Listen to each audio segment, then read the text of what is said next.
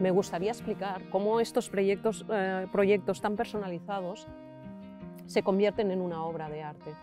En esta obra de arte interviene pues, eh, la naturaleza, interviene los pájaros, interviene el sonido, los aromas y nuestra mano de obra, o sea, intervienen nuestras manos en el momento de tomar las decisiones para poder trasladar esas pinceladas de la naturaleza a lo que son eh, las botellas. El propio vino es una obra.